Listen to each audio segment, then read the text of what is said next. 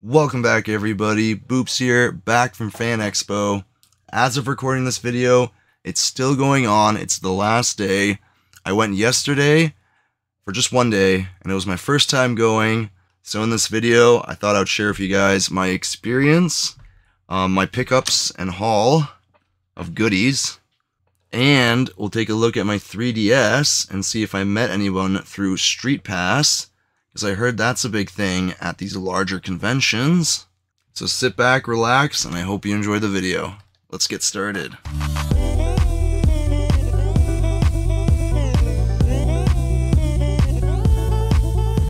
So as I already mentioned, this is my first time going to Fan Expo. I've heard a lot of good things about it, and I decided to finally go there myself. Getting there and getting inside was a little overwhelming uh, but it soon became overwhelmingly amazing. There was so much cool things to look at, so many people dressed up. There was just things happening everywhere. I I didn't even know how to dissect the whole area and take everything in. We mainly ended up moving between the two main floors, which has uh, mostly all the shops and merchandise to buy. There were a bunch of events happening in the side rooms, but we did not schedule very well to attend any of them. We mostly spent the whole day just looking through what's on the floor, and I don't think we even got to look at everything. On the one floor, there's also the area where they have everyone who gives out signatures, and there's also some photo ops. We got to see Peter Cullen, the voice of Optimus Prime, doing signatures, as well as Kathleen Hurls? Hurleys? Not sure how to pronounce it, but the voice of Dora the Explorer. I thought that was super neat to see. We witnessed a lightsaber battle. The Jedi start off strong, but the Sith are pushing them back. Also, some part into the day, the fire alarm started going off. I think it was on for like 20 minutes, half an hour maybe. And when it finally turned off, you could hear the entire convention center cheering. it was hilarious. There was a lot of promotional booths, like PlayStation with their new Spider-Man game, and their Twisted Metal movie. There was a bunch of Star Wars for the new Star Wars series. Outside on one of our smoke breaks, we got to see a bunch of dark hooded mysterious figures um, promoting the new movie The Nun 2. Bell had a little tournament going on, which was quite exciting, and you also got to see the commentators performing on the right hand side, which I was almost more interested in than the actual uh, players themselves. There were a lot of people dressed up in costumes, including a lot of photo opportunities in, say, a Star Wars environment. They had some cars that had like a full uh, wrap on them, usually an anime style wrap. And I got a picture with R2D2. And if anybody knows how how this R2D2 unit works, he was moving around and could identify where everyone was standing and he could pose for pictures with you, but I, nowhere in sight could I see someone controlling him or you know a camera system that would be assisting him. I guess it could be just all autonomous at this point, 2023 but that just kind of blew me away. So yeah, there was way too much to do in just one day. I understand why people go for a whole weekend. Besides the fact that today I can barely walk. I haven't walked so much in one day in forever. We'll go ahead and we'll start with the pickups from the event. We'll start with your souvenir badge, they call it, but I guess the lanyard is really the only souvenir. We got the Mario style Fan Expo Canada lanyard, the little badge. I believe it has an advertisement for a show or movie or something I'm not aware of. There's the back. So yeah, really nice lanyard. They had a table there with exclusive items from Fan Expo. This was one of those exclusive items. It got a bit better. They had figures, comic books, stuff like that. But this is, I guess, the exclusive Fan Expo merchandise I got. First thing I spotted when I got there was Digimon. Next to the Pokemon gym badges, they had these Digimon crests. I feel like I've seen this maybe once or twice in the past, but not in person, so I had to grab this. I think this is really cool. These are the crests of like friendship, courage, all that from Digimon. They needed these to help their Digimon evolve past the ultimate form or champion form. And the crests are interchangeable with the little necklace here. They also give you a chain, so you can actually wear it like a necklace. And yeah, you can just pop them all in. Super nice. You don't see enough Digimon merch. I understand why, but I just, I love to see it. This is super cool.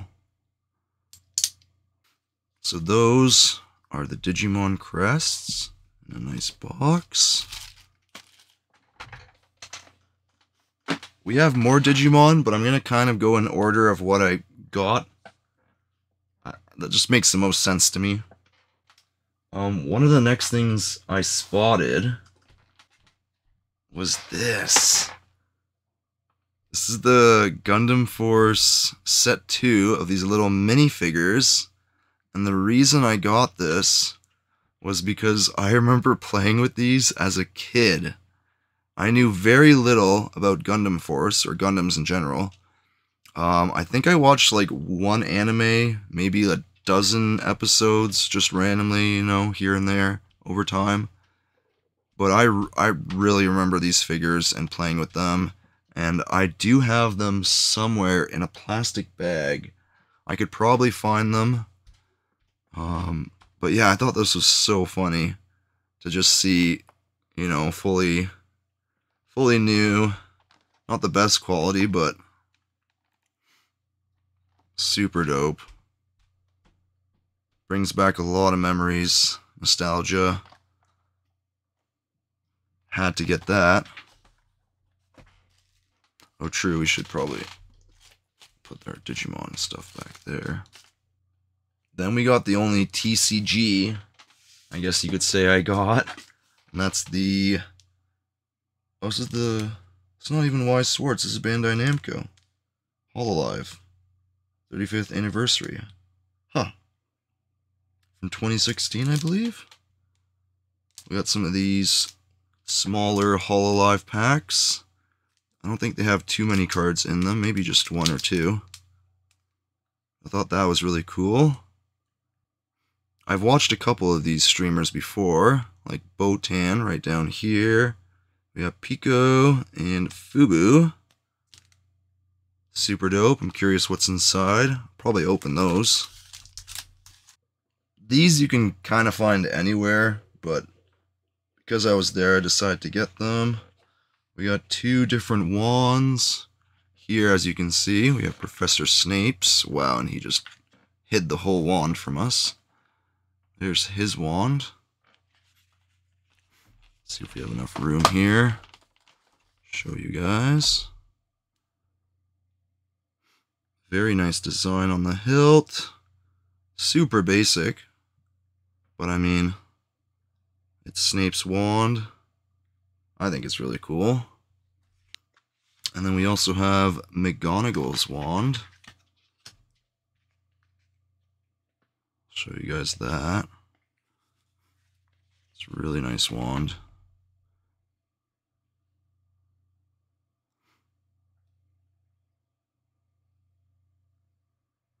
This one I think I might give to my sister.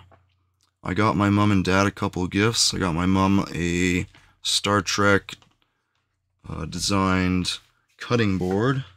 And I got my dad um, some Godfather merchandise. So there were a couple of locations with like huge selection of games to look at.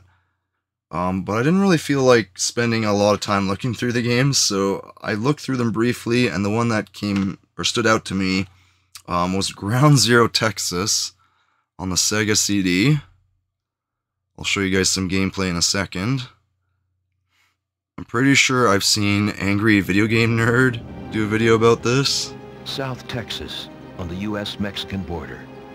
People have begun to disappear. Individuals, families, gone without a trace. All humanity is in danger. And this small Texas town sits at ground zero. The reason it stands out to me is because it's a full motion video game uh, where I believe you just point and click on the enemies that pop out and you gotta like shoot them or whatever and avoid, you know, the good guys.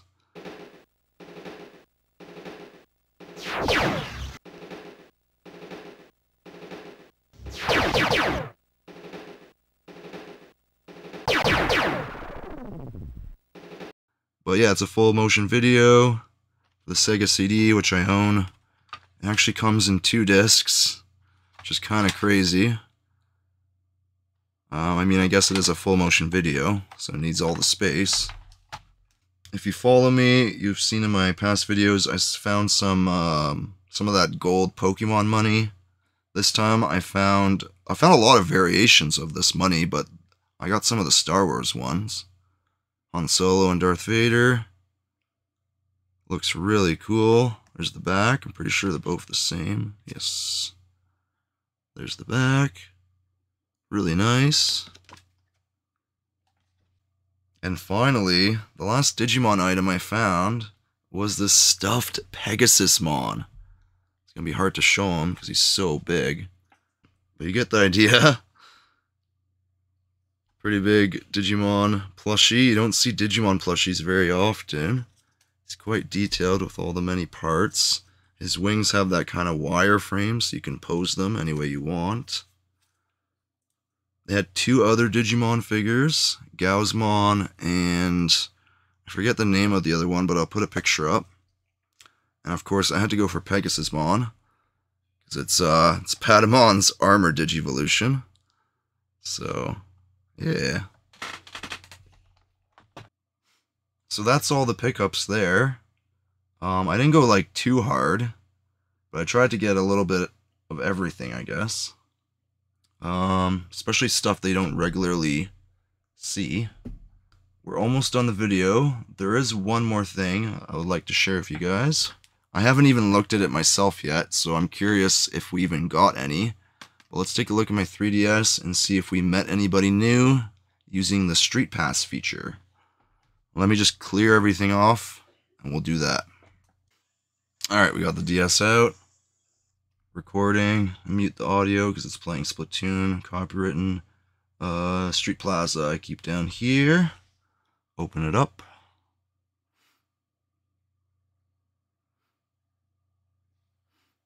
Noticed it gives me a warning. And now I haven't used Street Plaza. Like, I've used Street Plaza once or twice, so I'm not sure exactly what this warning is.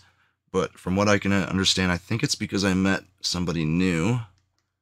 So let's go to Plaza Gate. Let's do that. We'll see if there's anybody new there waiting for us.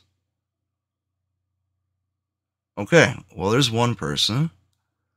We met Joseph from Ontario hey, stay happy. That's what he says to us. I forget what my uh my intro little blurb is. New region, okay. Nice. Husbando from Ontario. Nice to meet you. Howdy. John from Saskatchewan. 3DS forever. Let's go. I wonder if he came from Saskatchewan just for Fan Expo. That'd be dope. Nice, new region. So that's three people we met at Fan Expo so far. okay, keeps going. From New Jersey. Howdy. Simone. Huh. I wonder if they came all the way from New Jersey just for this. New country, nice. United States, New Jersey. Ooh. I'm Enz. From Ontario. Korwa, Gundam. That's really cool. That's that's a, what is this? Five people? I'm Gundam from Ontario. It's a Gundam. Oh no. I'm Elena. Elena? Wow. Butchered that. From Ontario. Behind you. Man, I did not expect to have that. just keeps going. To have this many. I'm Braden from Ontario. It's Big Sam. I'm Dan. What? The? Oh my goodness. I'm Eddie. Hello. Okay, and that's it. I I lost count. I wonder. It's it's gonna tell us probably, but Wow. You're tagged people with Street Pass 10 times, which I think might be the limit, actually. And then you have to, like, click on them and do stuff, and then you can do more. Um, so it's quite possible that there was more than 10 people with their 3DSs there. But that is super cool. I heard this was a thing. I didn't know how much of a thing this really was, but yeah, this is definitely a thing. Oh, and that's what they're playing, I guess, most recently. Howie just came down for the end of the video. I gotta protect Pegasusmon from him because he'll want to play with him, and Howie destroys everything. Howie. So that's been my experience with Fan Expo. First time ever going. I hope you guys learned something new. I hope you guys enjoyed. I hope this video possibly encouraged you to go yourself. It's super fun. You won't regret it. Get ready for some barking. Howie. Thank you everybody for watching. I'm Boops. And I'll see you in the next one. Howie!